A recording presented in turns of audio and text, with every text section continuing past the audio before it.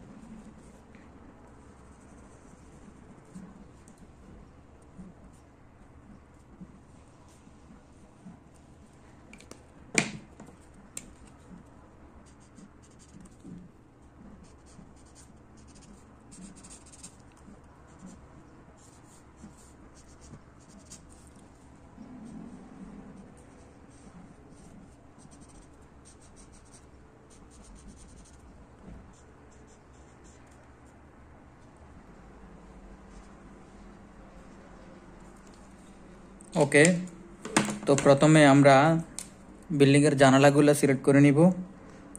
এ হচ্ছে উইন্ডোর। ঠিক আছে, বিল্ডিং, বিল্ডিংয়ের আউটসাইড, উইন্ডোরগুলো বেলকনি। ঠিক আছে?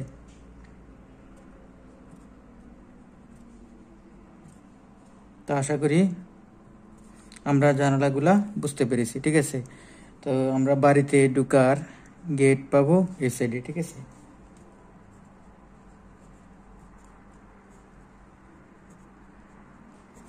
আশা করি আমরা গেটটিও বুঝতে পেরেছি, এবং জানালাগুলা বুঝতে পেরেছি। তো এবার আমরা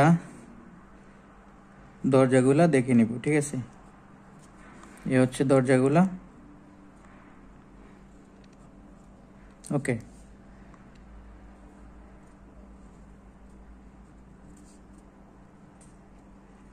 আপনাদের বোঝার স্বার্থে আমি একটু সুন্দর করে দরজাগুলা মার্ক করে দিচ্ছি, কোন সাইড থেকে দরজাগুলো আসবে সেই জন্য ঠিক আছে?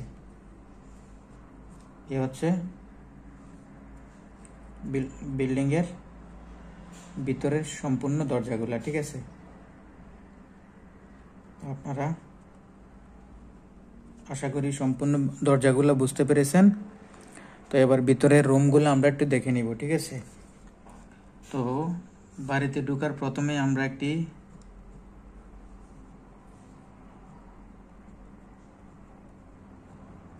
হল রুম পাবো ঠিক আছে তারপরে সেকেন্ড আমাদের একটি বেডরুম হবে এ হচ্ছে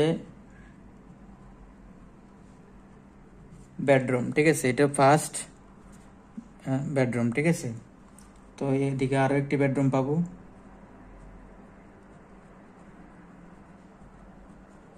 এ হচ্ছে সেকেন্ড বেডরুম ঠিক আছে তো আমরা এদিকে একটি টয়লেট পাবো টয়লেট অ্যান্ড বাথরুম অ্যাটাচড ঠিক আছে? এ হচ্ছে অ্যাটাচ টয়লেট এখানেও একটি অ্যাটাচ টয়লেট হবে, ঠিক আছে? দু রুমের সঙ্গে দুটি অ্যাটাচ টয়লেট হবে, ঠিক আছে? তো এটা হবে বেলকনি ঠিক আছে?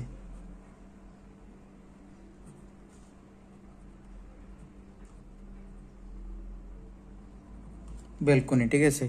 তো এটা পুরোটা ওপেন থাকবে। ওকে তো আমাদের কিচেনটি হবে এ। কিচেন অ্যান্ড একটি কমন টয়লেট হবে এই সাইডে ঠিক আছে?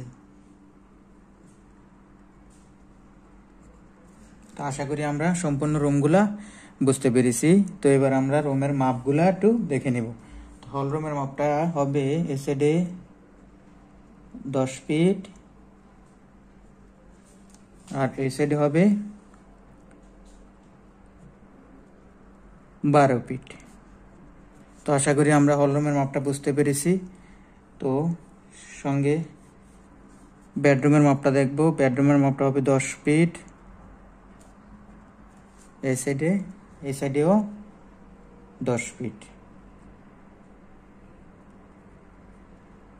ওকে আর আমাদের যে বেলকুনিটা হবে বেলকুনির মাপটা হবে তিন ফুট, চার ইঞ্চি হবে এই সাইডে আর এই সাইডে হবে দশ ফিট ওকে তো আশা করি আমরা এই সাইডের মাপগুলো বুঝতে পেরেছি। তো এবার আমরা আসি এই সাইডে তো এই সাইডে ফার্স্ট যে কমন যে টয়লেটটা হবে, এটার মাপটা হবে এই সাইডে দশ ফিট। আর এই সাইডে হবে চার ফিট পাঁচ ইঞ্চি। তো আশা করি আমরা এই টয়লেটের মাপটা বুঝতে পেরেছি। এবার কিচেনের মাপটা দেখব। কিচেনের মাপটা হবে আট ফিট এই সাইডে আর এই সাইডে হবে সিক্স ফিট, ছয় ফিট, ঠিক আছে? তো আশা করি আমরা কিচেনের মাপটাও পেয়ে গেলাম। তো এখানে যে সেকেন্ড বেডরুমের সঙ্গে যে টয়লেটটি রয়েছে টয়লেটের এই সাইডের মাপটা হবে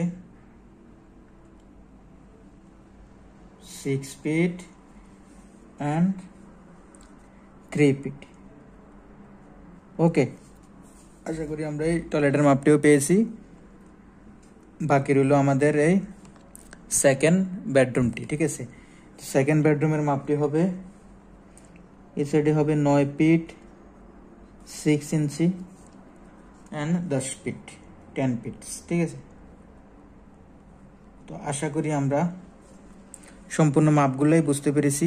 সাথে আমাদের এই টয়লেটের মাপটি দেখা হয়নি। এই টয়লেটের মাপটি হবে চার ফিট বাই চার ফিট ঠিক আছে? সরি চার ফিট চার ইঞ্চি বাই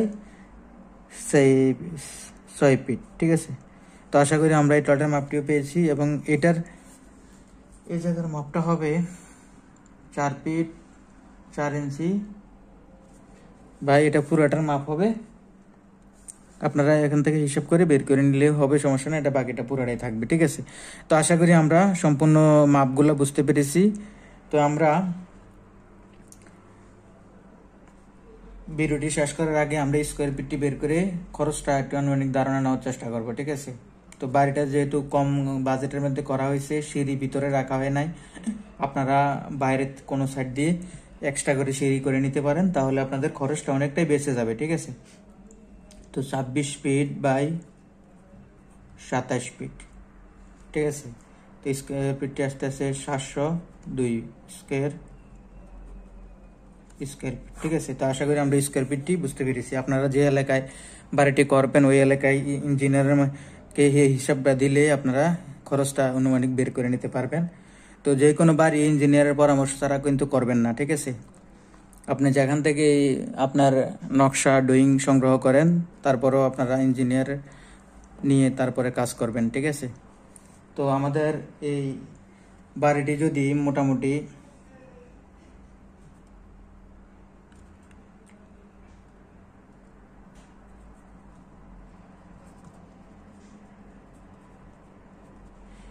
দশ লক্ষ টাকার মতো হতে পারে, ঠিক আছে? আনুমানিক ধারণা। এটা যে পারফেক্ট হবে তা না, কম বেশি হতে পারে তারপর আপনার স্কোয়ার ফিটটি বের করে নিলে বুঝতে পারবেন। তো ভিডিওটি ভালো লাগলে অবশ্যই লাইক দিয়ে শেয়ার করতে ভুলবেন না। আর যদি এরকম নিত্য নতুন প্ল্যান পেতে চান, তাহলে অবশ্যই চ্যানেলটি সাবস্ক্রাইব করে পাশে থাকা বেলাইকনটি বাজিয়ে রাখবেন। তাহলে আমার প্রতিদিনের আপডেট নতুন নতুন ভিডিওগুলো আপনার মিস হবে না। তো, আর আপনি নিজের মতো করেও যদি কোনো প্ল্যান করাতে চান, তাহলেও অবশ্যই যোগাযোগ করবেন। আমি ইনশাল্লাহ করে দেওয়ার চেষ্টা করব। তো আজকের মতো এ পর্যন্তই এখানেই। দেখা হবে পরবর্তী অন্য কোনো নতুন নকশা নিয়ে। সে পর্যন্ত সবাই ভালো থাকবেন, সুস্থ থাকবেন। আল্লাহ হাফেজ।